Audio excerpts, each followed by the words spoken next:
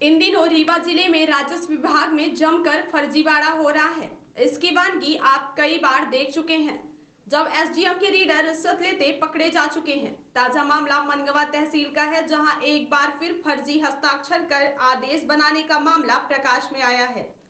दरअसल बाँस गाँव निवासी किसान ने पुलिस अधीक्षक कार्यालय पहुंचकर दोषियों के खिलाफ कार्यवाही की मांग की है। पीड़ित ने बताया कि उसका जमीनी विवाद चल रहा था। जिससे न्यायालय में उसके पक्ष में फैसला हुआ।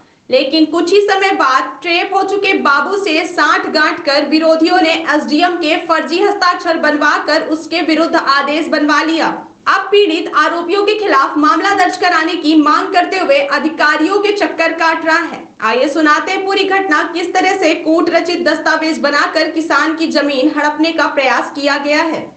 नाम है आपका। कहाँ से आए? बाँस। क्या घटनाक्रम हुआ है आपके साथ में?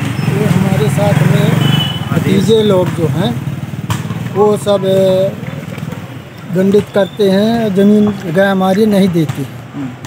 और आदेश एक बार हो आदेश है एक बार दो बार हो चुका है।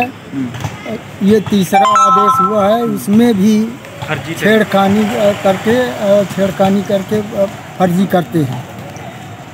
फर्जी करके वो हमको दंडित करते हैं। कितने वर्षों से आपका जमीनी प्रकरण चल रहा है? तो तीसन साल हो गया। आपके भाई का आपने बताया कि भाई साहब हाँ, आपके खत्म हो। चाहते थे। जब खत्म हाँ। जब खत्म हो गए हम्म, तब से ये दंडित करने लगे। आपके साथ मारपीट भी करते हैं मारपीट करते हैं। हम्म, ये कब पूरा रास्ता- घटनाक्रम कर- चल ये अभी दस दिन हो गया। हम्म, हमको मारे थे पटक दिए थे। हैं हमारा साल का कपड़ा बर्बाद हो गया था। ये कौन है? क्या नाम है उनका जो मारपीट करते हैं? ग्रीस हैं बागीस हैं। हम्म, और उनके रजनीश हैं। हम्म, और नन्नीस हैं दर्पण हैं। हम्म, और सूरज सूरज है।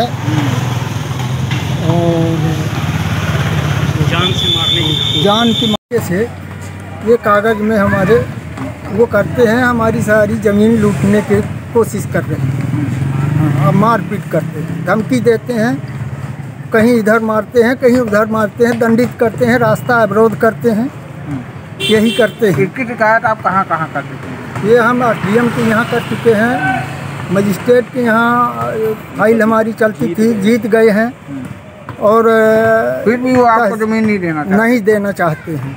तहसील में भी जीत गए हैं एसडीएम के यहाँ से जीत गए हैं तीन बार हमने जीता। नाम बता दीजिए राजमणि उपाध्याय।